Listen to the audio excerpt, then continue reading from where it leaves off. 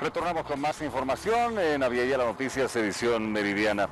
La clínica MEC va a dar de alta a la exministra Achacoyo, según se conoce, en las siguientes horas. Su abogado va a solicitar que su defendida declare no en La Paz, sino en Santa Cruz.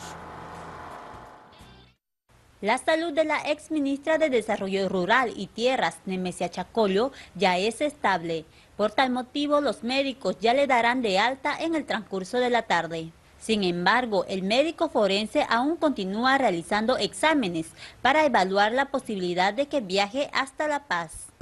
La señora Nemesia Chacollo, que fue internada hace dos días aquí en la clínica, este, ha cumplido ¿no? las 48 horas inicial que se pidió para su evaluación médica, compensación. ¿no?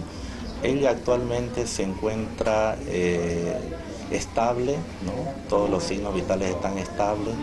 El día de ayer fue dada de alta por el médico cardiólogo, siguiendo las recomendaciones del caso, que se hagan estudios más especiales, pero la medicación que se le ha dado ha hecho de que ella se mantenga estable, que esté en buen estado de salud.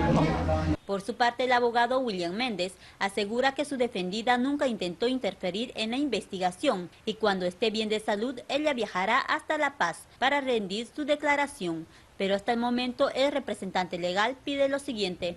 Yo le, yo le, yo le manifesté el día que hemos estado en la ciudad de La Paz que la señora Demencia se va a presentar donde ellos dispongan, pero por prescripción médica, el día que yo, he viajado, le he solicitado y, y hemos, le he manifestado que sería lo ideal para ver el tema de la salud, como es responsabilidad también del Ministerio Público, velar por la salud de, la persona que es investigada, que se puede, se puede eh, tomar la declaración de Santa Cruz, ¿no? eso sería lo ideal, digamos.